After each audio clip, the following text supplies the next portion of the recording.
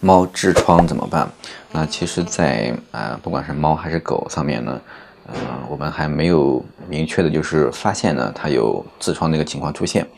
那如果是说它有这个，比如说像嗯末端的这种啊，比如大肠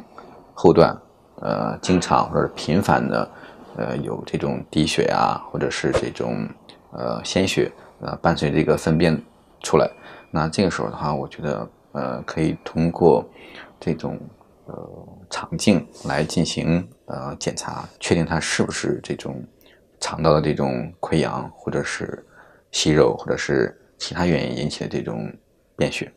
那单纯从嗯